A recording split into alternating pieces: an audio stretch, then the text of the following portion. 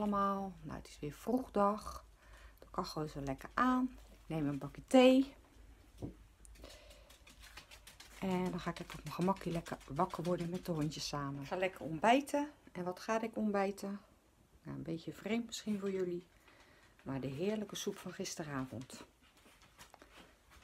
Dus dat ga ik lekker eten.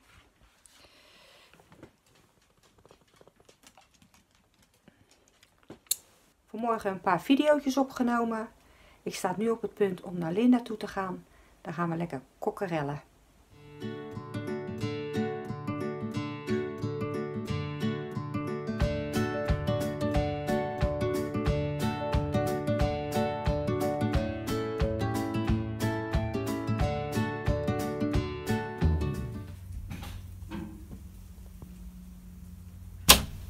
Goedemiddag. Hallo. Hi. Nou, we gaan beginnen. En heel heel veel... gezellig is Manon er. Ja, hallo Manon. Hoi. En Jolanda komt vandaag niet, dus eh, helaas die, eh, ligt met hoofdpijn op bed. En wij gaan beginnen. Kijk eens. Ik krijg van mij een groot stuk, Dat is een beetje een idee. Zo. een groot stuk pompoen. En die mag in blokjes. Een stukje snijden Ja. met dat grote mes. Ja, die of... Manon is niet echt vegetarisch, maar ze zegt net dat ze wel heel weinig. Ik hou er wel van, ja. Om het niet te doen. Ja, want eh, ze beseffen ook wel dat er niet veel goeds meer in zit. Nee.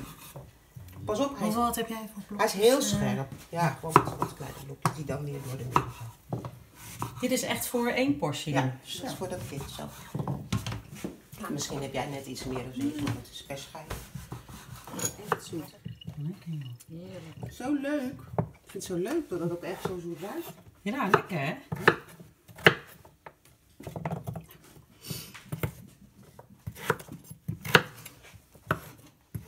Heerlijk. Lekker snuiven. Het zijn net geen paddo's. dat doen we hier niet aan.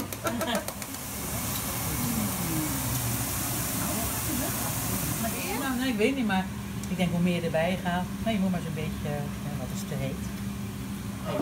Ondertussen is Linda bezig met een uh, plantaardig kaasje. En de eerste rollen liggen in de oven. Het is nu tijd voor een bakje thee. Een kopje thee. Met een zwarte pietje. Heel lekker, heel luchtig. Lekker theetje. Dus, eh, we zijn klaar. Die had een vriendje voeden. En die zei al, uit Monniken. Ja, ik weet helemaal ook een eh, collega van Remco ook altijd al mee. Manon is uh, rol aan het snijden.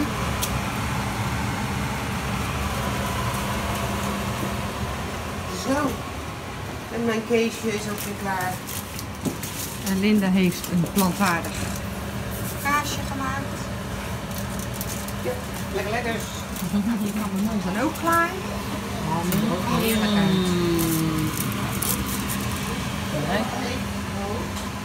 Heerlijk ook, echt lekker.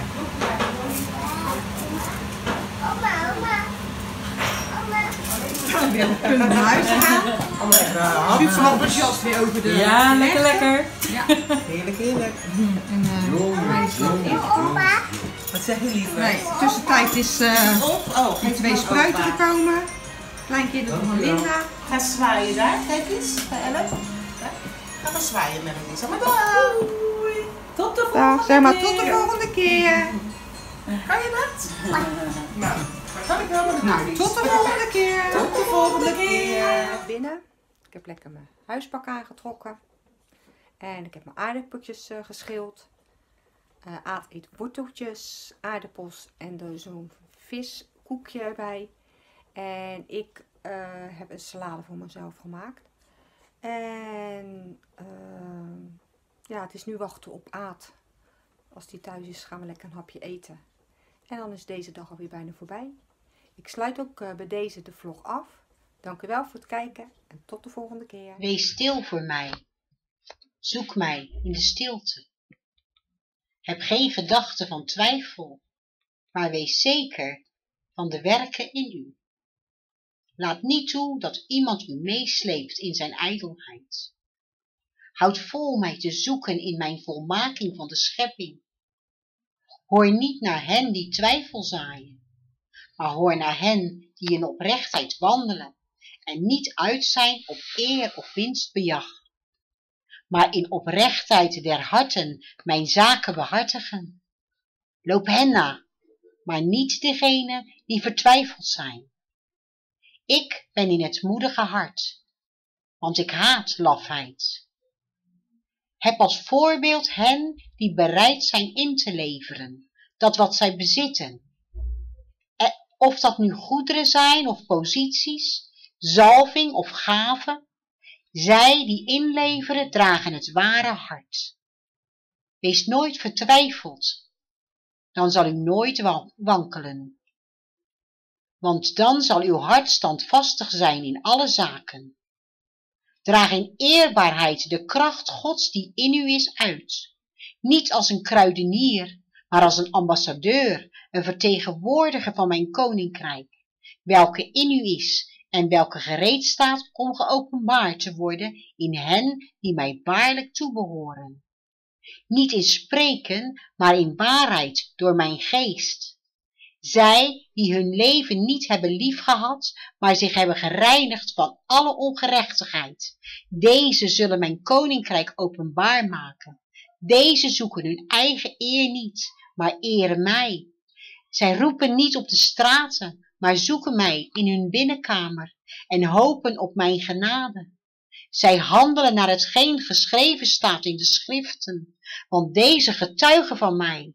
En zij dragen dat getuigenis in zich, leesbaar voor ieder, zuiver en niet te wederleggen.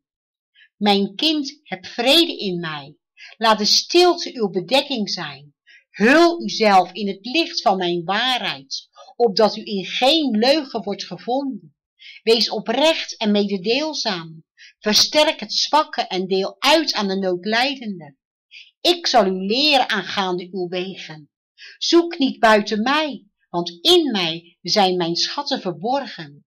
In mij, heb daarom vrede in mij en laat u niets opleggen wat van mij niet is uitgegaan. Wees niet bezorgd over degene die ik aan uw zorg heb toevertrouwd. Zij zullen staande blijven. En als zij dreigen te vallen, zult gij ze uit het stof opheffen. Door mijn geest zal dit geschieden. Steun niet op eigen kracht, maar steun op mijn kracht die in u is en niets zal onmogelijk zijn. Heb vrede in mij, wandel in die vrede. Laat vrede uw naam zijn en draag hem in eerbied voor mijn naam. Leer stil te zijn, voor mijn aangezicht te staan, in stille vrede, door alles van mij te verwachten. Verwacht het goede en volkomene, het reine en heilige.